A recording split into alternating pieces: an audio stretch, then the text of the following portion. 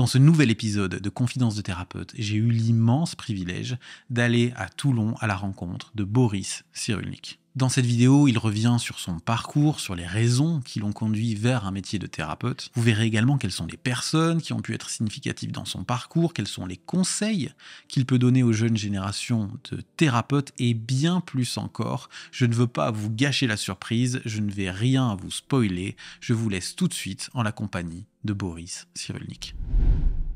Bonjour Boris Cyrulnik. Alors la première question que j'avais envie de vous poser, c'était qu'est-ce qui vous a conduit vers un métier de thérapeute Alors, merci pour cette question parce que je pense que le choix d'un métier de soins euh, a toujours un fondement autobiographique.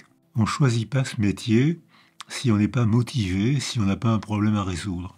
Ce qui est la noblesse de ce métier, ça veut dire qu'on est en recherche, on veut comprendre un problème et non pas seulement appliquer une recette ce qui n'est pas toujours le cas dans notre milieu, en tout cas dans mon cheminement, c'était le besoin de comprendre, le désir de découvrir d'autres mondes mentaux que le mien, d'autres cultures que la mienne, une curiosité d'explorateur.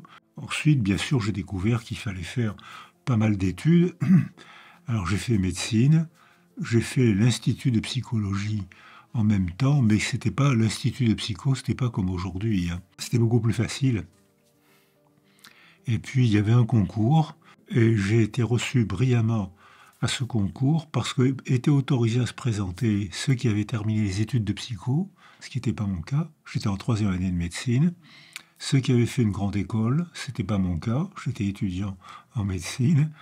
Mais la question posée à l'écrit pour devenir psychologue, c'était la moelle épinière. J'aime autant vous dire que les psychologues étaient assez moyens sur la moelle épinière. Donc ça m'a permis d'entrer à l'Institut de psycho et de côtoyer Rémi Chauvin, de côtoyer les éthologues, mais qui étaient en difficulté à cause de l'hégémonie de la psychanalyse à cette époque-là. Donc voilà l'origine de ma motivation, qui est le goût de la nécessité de comprendre et le goût de l'exploration. Dans les années d'après-guerre, j'avais subi la Shoah, la guerre, comme, beaucoup de gens, et la Shoah, j'entendais dire autour de moi l'explication de cet immense crime, 50 millions de morts, la planète entière ruinée, des villes détruites. L'explication de cette immense catastrophe humaine, c'était euh, c'est parce que Hitler est syphilitique. Et j'avais 7-8 ans, je me disais, mais je comprends pas comment la maladie d'un homme peut expliquer une catastrophe mondiale. Je me disais, c'est une explication. J'avais 7-8 ans, ça ne me convenait pas déjà comme explication. Alors on disait ensuite, on a dit, non, non, c'est pas parce qu'il est syphilitique, c'est parce qu'il est paranoïaque. Je me disais, mais ça n'explique pas plus comment la, paranoïa d'un homme peut provoquer une déflagration planétaire. Parce que tout le monde était en guerre, hein, les Maoris, les petits pays, tout le monde était en guerre. Ça ne peut pas expliquer ça. Donc il y a d'autres explications. Et j'avais le pressentiment que c'était un phénomène social et non pas la folie d'un homme. Et 80 euh, ans plus tard, je crois que je n'ai fait que confirmer cette idée. Alors ensuite, bien sûr, il a fallu fouiller, apprendre, rencontrer, lire, mais ça c'était un plaisir, c'est-à-dire que à l'origine, il y avait un plaisir, une nécessité de comprendre pour échapper au réel qui était une catastrophe insupportable. Et aujourd'hui, c'est un plaisir de comprendre, avec l'étonnement et l'inquiétude de voir réapparaître des problèmes que je croyais disparus. Je vois réapparaître euh, le racisme, l'antisémitisme, euh, je vois réapparaître euh, des régimes autoritaires qui sont élus démocratiquement. Donc ça, ça m'inquiète beaucoup parce que ça veut dire qu'il y a un système social qui échappe à la pensée individuelle, qui fait que des individus se laissent entraîner par une doxa, par un grand courant culturel, sans réfléchir, et ils votent pour un sauveur, ce qui est le cas de pratiquement tous les dictateurs, se présentent en sauveur. Et ce sauveur est un escroc culturel qui rend tout le monde malheureux, qui finit toujours par tomber, mais il tombe après avoir abîmé une culture ou abîmé deux ou trois générations. Et je vois réapparaître ce phénomène avec tristesse, avec inquiétude, et j'ai l'impression d'un courant très difficile à affronter. C'est très difficile de nager à contre-courant. La pensée paresseuse, c'est se laisser porter par le courant. Si vous vous laissez porter par la doxa, euh, vous n'aurez que des amis, puisque vous allez réciter comme tout le monde. Tout le monde sera d'accord avec vous, tout le monde va vous trouver très bien. Anna Arendt a été haïe par les gens qu'elle aimait, parce qu'elle pensait à contre-courant. Ce qu'elle appelle, elle, sa liberté intérieure. Ça coûte très cher. Si vous voulez des diplômes, ce qui était mon cas, ce qui était le vôtre aussi, vous avez intérêt à répéter la voix du maître. Sinon, vous n'êtes pas reçu à vos examens. Or, euh, quand j'ai terminé médecine, euh, la voix du maître, c'était la biologie explique tout, ce qui me paraissait abusif, ou la psychanalyse explique tout, ce qui me paraissait abusif, ou la sociologie explique tout, ce qui me paraissait abusif. Donc j'étais tout seul. Des gens que j'aimais bien me disaient mais non, euh, la folie, euh, c'est un mot qu'on n'emploie plus en psychiatrie. Hein. On l'a employé jusqu'au 17e, 18e maintenant. Depuis Michel Foucault, euh, on l'emploie plus, la folie. Sauf dans la culture, ça veut rien, c'est un mot qui veut rien dire. Ça veut dire s'il pense pas comme moi, donc il est fou. Vous êtes d'accord hein. S'il faut être fou, on va pas penser comme moi. Donc c'est des gens que j'aimais bien qui me disait mais non, la biologie va tout expliquer, ce que disait Freud. Et surtout, le, courant dominant de la fin de mes études, de mon internat en psychiatrie, mon CES, euh, c'était la psychanalyse, qui a été une grande découverte, qui a été... Freud a découvert le monde du dedans. Avant Freud, quand quelqu'un souffrait, on expliquait sa souffrance par le mauvais œil, par le bouc émissaire, ou par la mauvaise qualité cérébrale. Et là encore, ça ne me convenait pas. Je ne pouvais pas dire il est fou parce que son voisin lui a jeté un sort ou un mauvais œil, ça ne me, paraissait pas convaincant. Il est fou parce qu'il a une mauvaise, son cerveau a une mauvaise qualité. Là encore, ça ne me paraissait pas convaincant. Donc j'étais contraint à faire un petit cheminement tout seul, ce qui a été coûteux sur le plan universitaire, où c'était facile de choisir une autoroute. Quand j'ai fini, on m'a proposé des tas de postes pour expliquer la folie par la biologie. Je suis un archéopsychiatre, hein. je suis neuropsychiatre diplômé d'avant 68. Ensuite, il y a eu la séparation. À cette époque-là, on apprenait la neurologie, pas la psychiatrie, et, et une fois diplômé en neurologie, on nous disait tu peux soigner un schizophrène. Soigner un quoi? Je ne savais pas ce que c'était. Donc c'était absurde. Il fallait séparer les deux. Et maintenant, curieusement, on voit que les jeunes redécouvrent une nouvelle neurologie. C'est pas la neurologie que j'ai apprise, c'est une neuroimagerie qui découvre que le cerveau, en fait, est sculpté par notre relation, il est sculpté par le milieu. Donc, je retrouve Anna Arendt, on peut agir sur le milieu qui agit sur nous. On a donc un degré de liberté. Alors qu'avant, c'était neurologie, le cerveau explique toute la folie. Quand j'étais interne en neurologie, en neurochirurgie, on me proposait des postes magnifiques, personne ne voulait le faire. Donc j'étais forcément parmi les meilleurs, il n'y avait pas de candidat. Donc, euh, Metzger m'avait proposé un poste en neuroradio que j'ai refusé parce que je voulais soigner. Aujourd'hui, j'aurais accepté. Avec la neuroimagerie, j'aurais accepté. Mais en 65-66, ça ne m'intéressait pas. En psychanalyse, Jacques Quin me disait mais il y a une demande énorme, fais psychanalyse. Je me disais mais il faut, je veux pas faire parce qu'il y a une demande. Ça c'est un argument commercial. C'est pas un argument de soigneur. J'ai fait un parcours psychanalytique qui a sa part de vérité, mais qui n'a pas toute la vérité. J'ai connu les hôpitaux psychiatriques à un moment heureux, très heureux. Après 68, on était convaincu qu'on allait tout soigner. Il y avait les médicaments, il y avait la psychanalyse, euh, il y avait la sociologie, on découvrait l'origine sociale des dépressions. Aujourd'hui, ce que je viens de cette phrase est une immense banalité. En 67, 68, 65, c'était impensé. Origine sociale. Un homme souffre pour des causes sociales. C'était difficile à penser. Maintenant, les jeunes se demandent comment on peut penser autrement. Il y avait une gaieté, il y avait un optimisme, il y avait une, illusion. Mais l'illusion peut être euphorisante. Hein. Et il y avait une illusion très agréable qu'on allait tout comprendre, tout soigner, qu'on allait supprimer les inégalités sociales. Le résultat, c'est qu'il y avait une ambiance très agréable. On se rencontrait, on se disputait, on n'était jamais d'accord. On a ouvert les hôpitaux. Ça paraissait stupéfiant. Les hôpitaux se referment aujourd'hui pour des raisons d'argent, pour des raisons d'économie, manque de personnel. Quand il n'y a pas assez de personnel, on se réfugie dans les médicaments. Et on donne trop de médicaments. Donc une décision administrative politique referme les hôpitaux aujourd'hui, alors que en 60, après 68, on ouvrait tout, j'avais une impression de liberté, c'était, passionnant, on se rencontrait, il y, avait tous les jeunes étaient là, il y avait une poignée d'anciens qui étaient passionnants, qui étaient psychanalystes, mais ce n'étaient pas des psychanalystes sectaires, c'était des psychanalystes ouverts qui donnaient la parole à, des tas de gens différents. Et cette euh, euphorie-là, les trente glorieuses de la psychiatrie, ben, ils se sont éteints progressivement. Et la psychiatrie asilaire, c'est volontairement et tristement que j'emploie ce mot, se remet à vivre aujourd'hui. Il y avait une autre forme de psychiatrie, c'était la psychiatrie commerciale, où là encore, j'avais, on m'a proposé des postes somptueux dans des cliniques, mais là, j'aurais vendu mon âme au diable. Mais les gens me disaient que prendre des postes dans la psychiatrie commerciale, là encore, les gens me disaient, mais les malades acceptent. Ce qui pour moi était un argument dégueulasse. ils sont malades, ils ne sont pas spécialistes. Ils acceptent parce qu'ils sont malheureux, ils ne savent pas. Et c'était l'époque où on faisait des cures de sommeil abusives, des cures de saquelles pour gagner de l'argent. Donc j'ai pas pu le faire non plus. Donc là encore, je me suis mis sur une petite voie marginale, mal payée, mais c'est pas par, euh, par vertu, c'est que je pouvais pas faire autrement.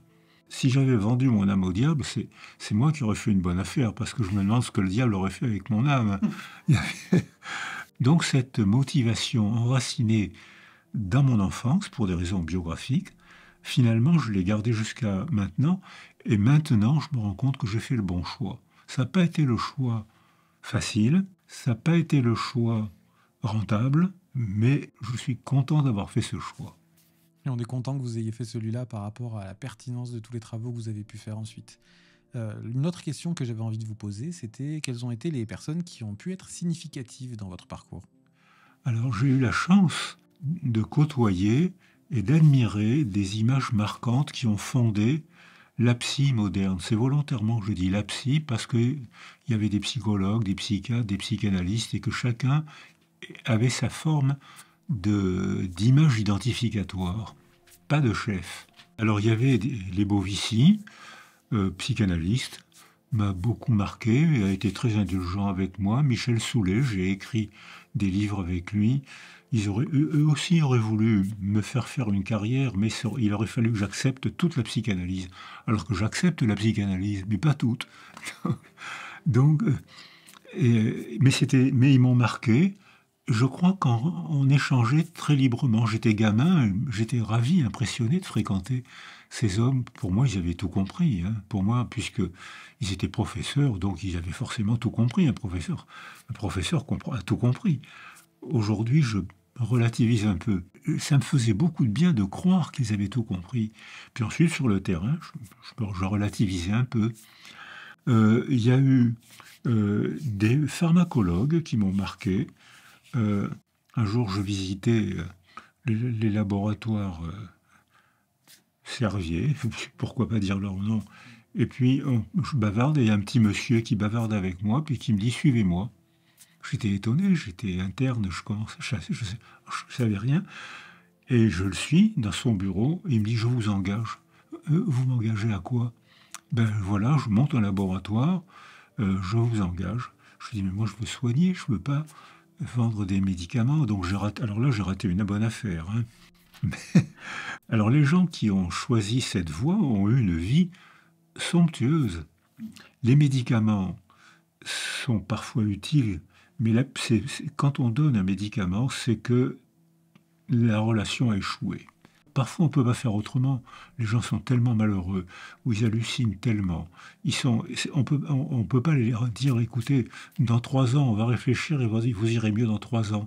Les, gens ont besoin d'une solution tout de suite. C'est pas une bonne solution, mais c'est une solution tout de suite. Et puis, alors là, je retrouve le même raisonnement que celui que je vous propose. À partir de quelque chose de peut-être malheureusement nécessaire, on généralise jusqu'à l'absurde, les médicaments vont tout guérir. Alors, les médicaments, malheureusement, parfois, on ne peut pas faire autrement. Ça ne peut pas tout guérir. Alors euh, là, on était dans une démarche cartésienne.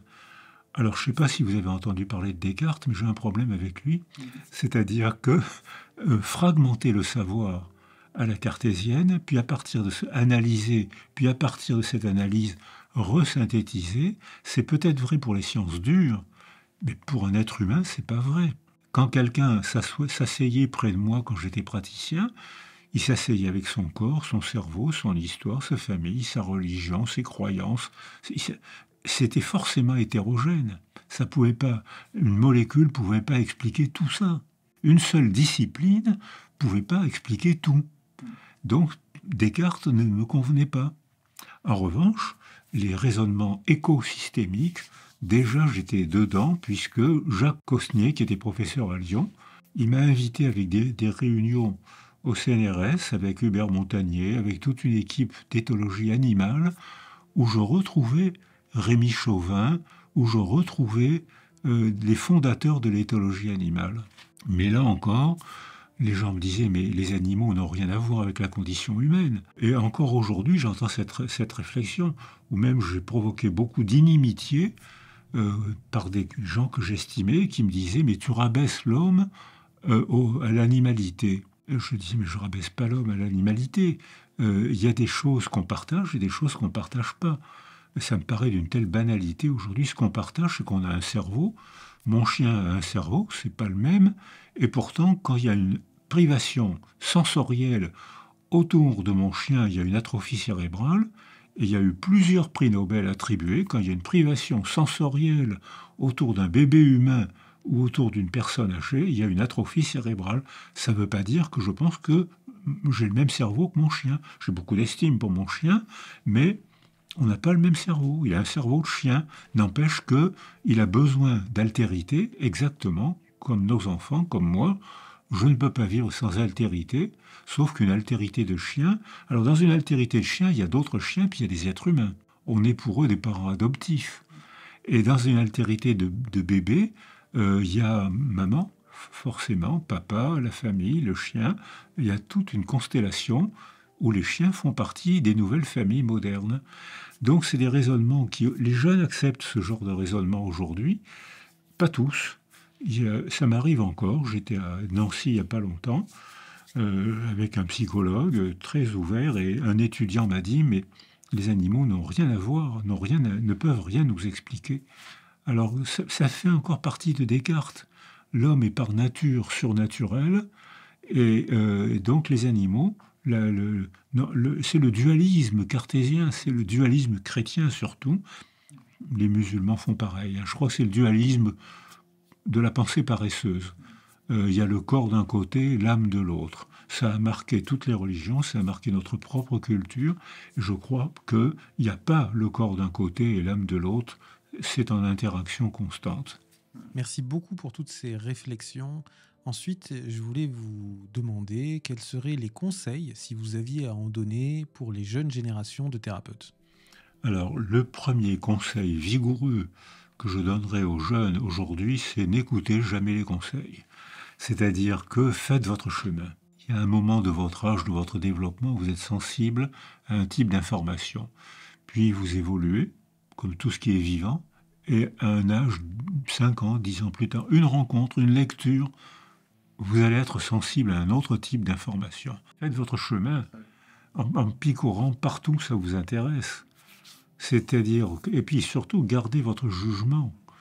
Alors, quand vous allez rencontrer un psychopharmacologue qui va vous dire le Prozac est merveilleux, j'ai eu des patients, il y a eu des livres, il y a eu des grands écrivains qui ont écrit des livres de d'ode au Prozac. Bon, tant mieux pour eux. Ils disent j'ai été, sauvé par le Prozac. Il y en a plusieurs. Tant mieux. Il y en a d'autres qui disent moi j'ai été angoissé par le Prozac. Les deux ont raison parce que c'est pas donné au même moment, c'est pas donné à les mêmes circonstances, c'est pas les mêmes besoins, c'était probablement pas la même structure de dépression, la même cause de la dépression. Donc il n'y a pas qu'une vérité, il y a mille vérités. Alors ça, beaucoup de gens ont du mal à entendre cette phrase que je viens de vous proposer. Hein.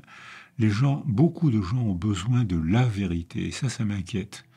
Parce que quand on a besoin de la vérité, on est prêt à vendre son âme à un sauveur. C'est comme ça que les dictateurs sont élus j'ai la vérité, la seule, votez pour moi, donnez-moi un peu de sous en passant. Et c'est comme ça qu'actuellement on voit sur la planète un nombre croissant de dictateurs élus démocratiquement. Ça, ça m'attriste.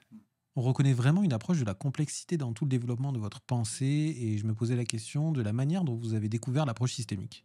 Alors, j'ai découvert les, pensées systémiques quand j'étais interne parce qu'elle était à la mode. Tous les internes de, mon époque découvraient l'école de Palo Alto. Et à l'école de Palo Alto, il y avait Bateson, qui était un biologiste systémicien qui s'intéressait à l'éthologie animale. Et l'école de Palo Alto, c'était justement le début de la pensée complexe. C'est-à-dire que c'est pas une cause qu'il faut. Il y a c'est une convergence de, de, déterminisme, une constellation de déterminisme qui entoure le sujet en voie de formation et qui peuvent le tutoriser dans une direction ou dans l'autre. Et puis, à Palo Alto, il y avait des psychiatres, des psychologues, des biologistes, des écrivains, des philosophes. Euh, donc, c'était vraiment des gens qui pensaient, qui postulaient on a tous notre part de vérité aucun n'a toute la vérité. Donc c'était bon, c'était pas un héroïsme de ma part, c'est tous les internes ont passé notre temps à passer à, parler l'école de Palo Alto. Mais ça c'était bien parce que ensuite, euh, quand je suis arrivé à, Toulon, euh, j'ai été chef de service d'un service de post-cure et à ce moment-là, je rencontrais Edgar Morin. C'était en 70-72 et, on, était sur la même longueur d'onde. Euh, lui, avec sa pensée complexe, moi, en ayant appris de Palo Alto, de Vaslavi que je rencontrais, avec qui j'ai travaillé, euh, c'était Anne Ancelin l'avait invité à Nice. Il parlait bien français, il faisait ses topos en français. Dans les topos, il avait un humour ravageur. Dès qu'il sortait de ses topos, il était sinistre. Et pourtant, quand il faisait des topos intéressants, intelligents, il, provoquait des éclats de rire. Bon, ben voilà, c'était son style, très agréable en tout cas, pas sectaire du tout. Parce que c'était très ouvert, c'était il avait une formation religieuse, il reconnaissait l'importance de la biologie et surtout les interactions. Parce que le mot interaction, qui vous paraît banal, est le résultat d'un conflit qui a duré des années. On pensait l'homme seul, coupé de sa famille, coupé de son contexte social. Et pour que le mot interaction rentre dans la culture, il a fallu en subir des sarcasmes. Euh, c'est un mot à la mode, ça veut rien dire, euh, parce que le Debré Ritzen postulait un homme de bonne qualité se développe bien, quel que soit son milieu. S'il il est de mauvaise qualité, c'est que génétiquement, quelque chose se met mal en place qui fait qu'il se développe mal ce genre de raisonnement prépare au racisme. Il y aurait parmi nous des gens de bonne qualité et des gens de mauvaise qualité. S'ils sont névrosés, euh, s'ils sont schizophrènes, vous pensez bien que c'est parce que l'explication, c'est parce qu'ils sont de mauvaise qualité biologique. La thérapeutique, l'application pratique, c'est que il faut les enfermer et si on peut les éliminer, même c'est pas mal du tout. Alexis Carrel, qui est un Lyonnais, euh, pendant un moment, il avait des hôpitaux à son nom à Lyon. Il y avait, je crois même qu'il y avait une université à son nom qui a été débaptisée. C'était un homme remarquable. Il a eu un prix Nobel pour avoir inventé la suture des vaisseaux. Il aurait mérité, qu'on pratique encore, il aurait mérité un autre prix Nobel pour avoir inventé la culture des tissus qui a révolutionné la recherche médicale. Et peut-être il aurait mérité des critiques parce qu'il proposait les chambres à gaz dans les années 30. J'ai le livre chez moi et je l'ai tellement cité souvent qu'il s'ouvre à la page où Alexis Carrel dit Dans une optique humaine, je propose des chambres à gaz pour éliminer les épileptiques, les malades mentaux et ceux qui troublent l'ordre public. Vous seriez d'accord pour nous parler d'une réussite dont vous êtes particulièrement fier et d'un échec qui a pu se révéler être formateur? Alors, on va commencer par la réussite et puis les échecs, je ne sais pas si j'en parlerai, mais.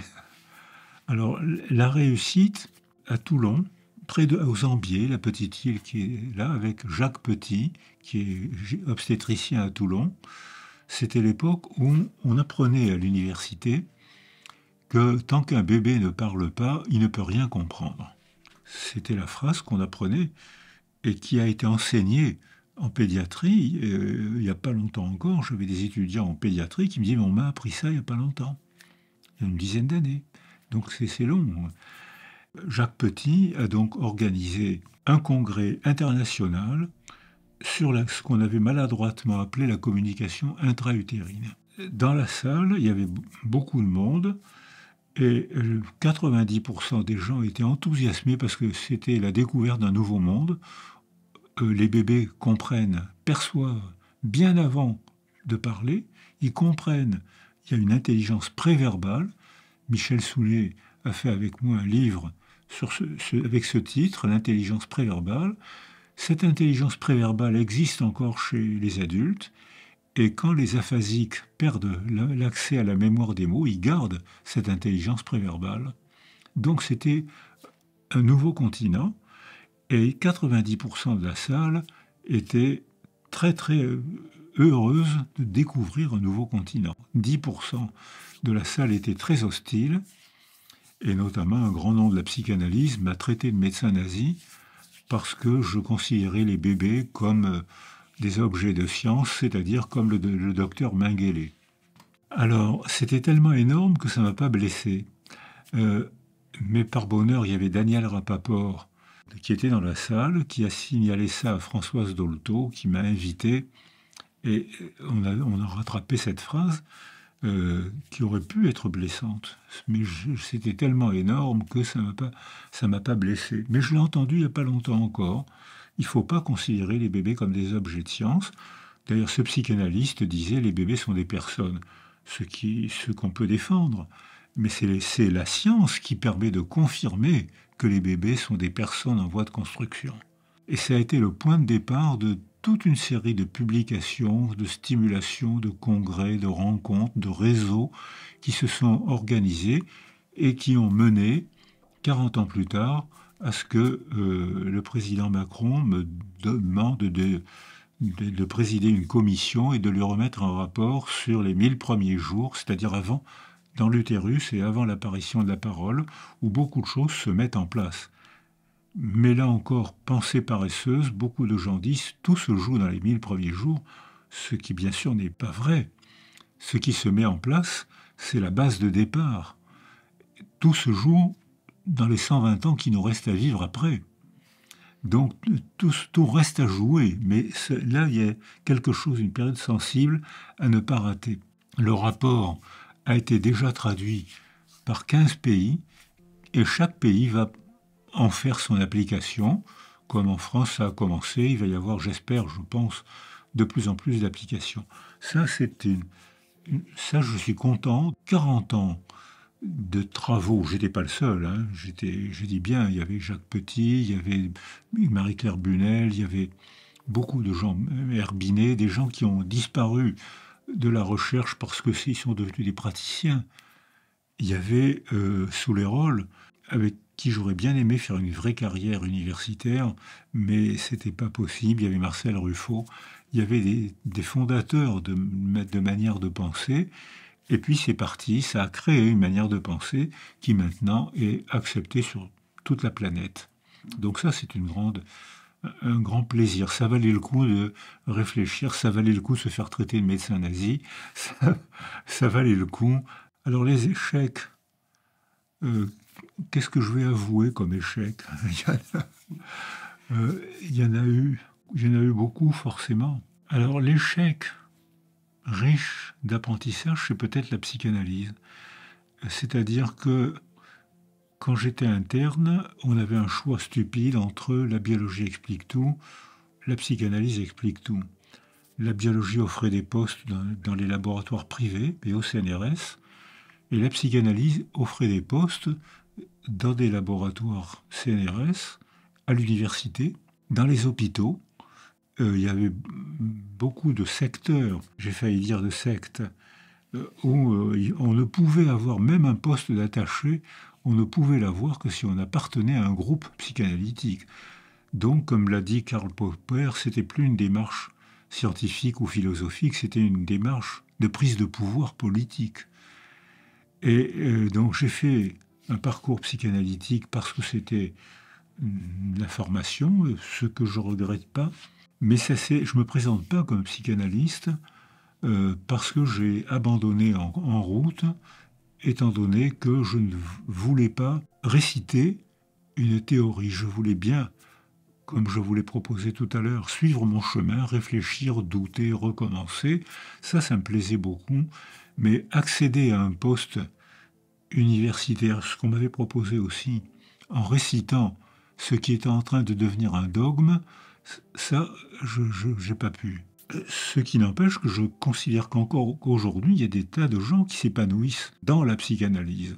Ça, c'est la psychanalyse qui est respectable. Il y a des gens qui s'épanouissent, qui sont heureux. Il y en a même, j'ai même des gens, des patients ou des amis, qui me disent j'ai été sauvé par la psychanalyse. Je ne vois pas ce qu'on pourrait le reprocher. Ce que je reproche, c'est la fermeture dogmatique et la transformation en appareil de prise de pouvoir politique, ce qui s'est passé dans les universités, dans les hôpitaux et même au CNRS. Maintenant, il n'y a pratiquement plus de psychanalystes au CNRS, mais il y a une époque où un nombre important de publications étaient psychanalytiques. Et ce n'était pas des réflexions, c'était des récitations. Donc ça, ça a été un échec. Alors les jeunes psychanalystes sont ouverts, ils ne sont pas dogmatiques. Et j'ai eu, il n'y a pas longtemps, une réunion à Toulon, à l'hôpital Sainte-Anne, avec des psychanalystes qui euh, faisaient comme Spitz, comme Anna Freud, comme Claude de Tichet, qui, est professeur à Nancy, avec qui je travaille avec plaisir, euh, qui sont psychanalystes. Et Spitz disait très justement, quand je fais de la recherche, je mets mon nez partout, ça peut m'aider à comprendre, dans la biologie, dans l'éthologie animale. Dans la première année de la vie de l'enfant, j'ai compté, vous vérifierez, il y a 26 citations d'éthologie animale pour un psychanalyste à une époque où les psychanalystes sont devenus très agressifs envers l'éthologie animale parce qu'ils étaient euh, en train de se laisser prendre dans une fermeture sectaire, ce qui n'est pas le cas des jeunes aujourd'hui. Et à cette réunion-là, il y avait des jeunes qui disaient, mais moi, ma pratique, c'est la psychanalyse, mais je sais que il y a d'autres disciplines qui peuvent m'intéresser aussi, mais quand je pratique, je, pratique avec la convention psychanalytique, ce que disait Spitz en 1945. Et puisqu'on en parlait tout à l'heure un petit peu en off et que je pense que ça intéressera la communauté, comment est-ce que vous avez vu l'arrivée de la cybernétique dans le champ d'exercice de la psychothérapie? Cette euh, évolution cybernétique participait et était citée, souvent utilisée dans l'école de Palo Alto. Au début, on l'a cité beaucoup, on lisait beaucoup. C'est un mode de raisonnement qui va revenir à la mode maintenant avec le, développement de l'intelligence artificielle, qui sera comme d'habitude passionnant et dangereux, comme, comme, la, comme la pharmacologie, comme, comme, comme les mots. Hein. Les mots, c'est la, la, pire et la, la, merveille et la pire des choses. Hein. C'est l'insulte et la, la magie. Et je pense qu'avec l'intelligence artificielle, on va reconnaître ça, des performances stupéfiantes et des effets secondaires inquiétants. Pour ma part, je m'en sers surtout en psychoécologie. C'est-à-dire que Brenner, en 1900, dans les années 30, avait proposé ce genre de raisonnement, et les découvertes de biologie, de psychologie, de psychanalyse actuelles confirment que c'est une bonne stratégie. C'est ce que la stratégie que j'ai proposée pour les 1000 premiers jours. La première niche écologique, c'est le ventre des femmes. Le deuxième, après la naissance, c'est le bras des femmes, où, comme le disait Boulby en 1951, ce rapport de l'OMS, 1951, le système familial le plus protecteur, c'est le système familial à multiples attachements. Ce qui est le contraire de ce que notre culture est en train de faire aujourd'hui, où on voit que les familles se, disloquent, se fragmentent et qu'il y a de plus en plus de femmes seules qui élèvent un enfant, un, parfois deux enfants, seuls. Elles sont harcelées, épuisées, non soutenues. Notre culture est en train de fabriquer de la dépression surtout pour ces femmes.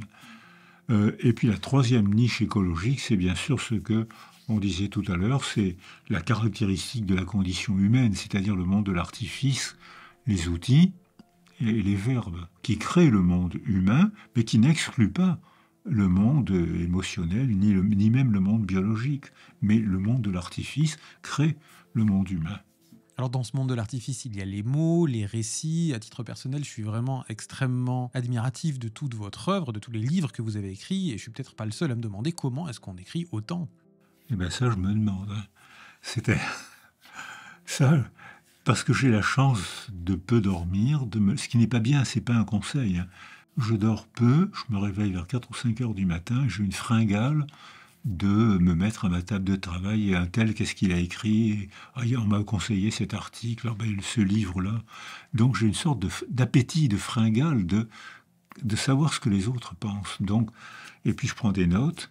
Et puis surtout, comme j'étais praticien, parce que je vous ai avoué euh, mes difficultés de choix classiques, donc j'ai été praticien, ce que je regrette pas, euh, mais c'est un autre mode de savoir. Ça a donné le dernier livre, Le laboureur et les mangeurs de vent. J'ai donc été un laboureur.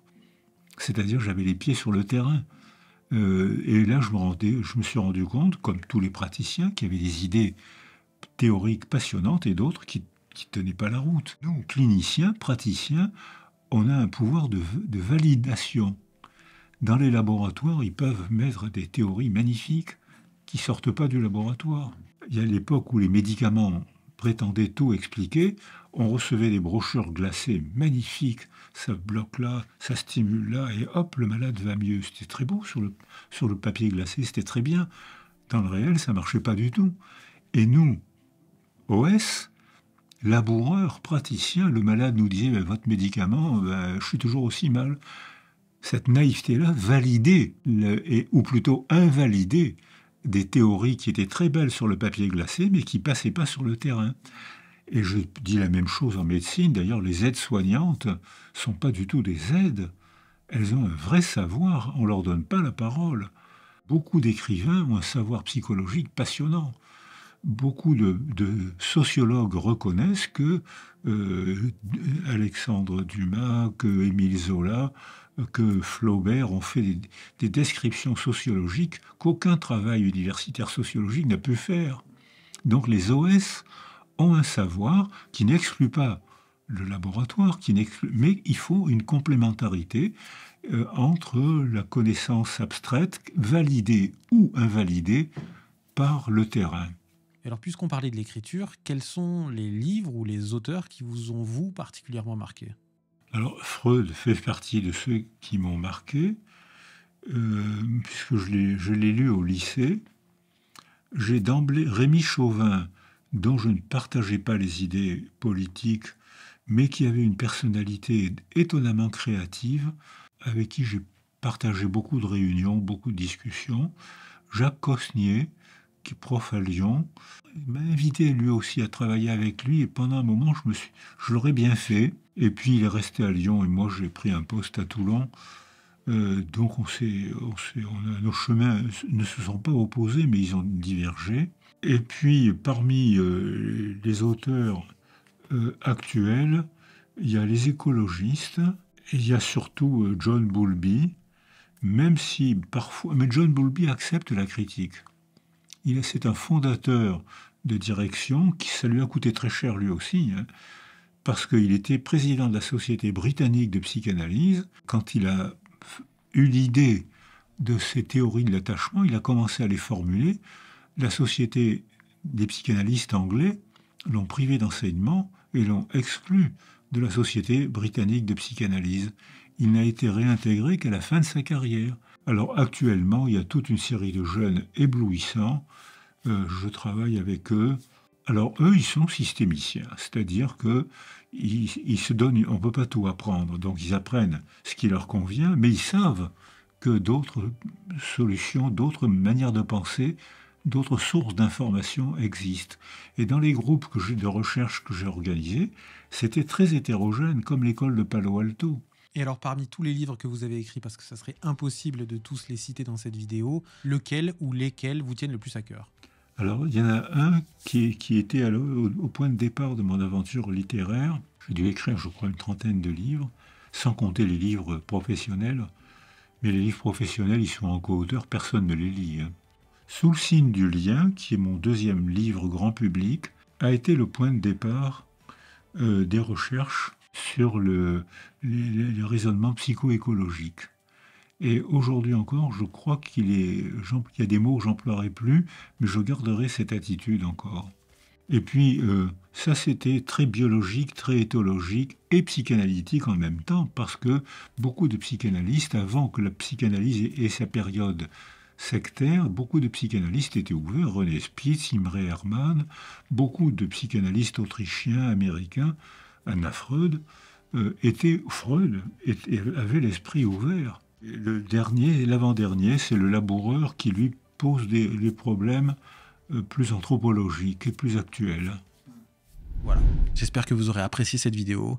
Si je dois à mon tour vous faire une confidence, c'était vraiment un rêve d'aller à la rencontre de Boris Cyrulnik. J'ai pu grandir avec ses livres, avec ses récits, et c'est vraiment une personne qui me fascinait depuis longtemps. J'étais déjà impressionné quand je le voyais lors de ses interventions télévisuelles vis-à-vis de son intelligence, de sa pertinence, de son charisme aussi, de sa manière de parler, et je peux vous dire qu'en l'ayant rencontré en vrai, c'est encore plus impressionnant. Donc un immense merci à Boris Cyrulnik de m'avoir accueilli chez lui. C'était un immense privilège. J'espère que vous aurez ressenti ça également à travers l'écran. Je vous invite à mettre un petit pouce en l'air si vous avez apprécié cette vidéo et que vous voulez qu'elle soit davantage diffusée, à laisser votre avis dans les commentaires. Et en ce qui me concerne, en attendant avec impatience de vous retrouver dès la semaine prochaine, prenez bien soin de vous.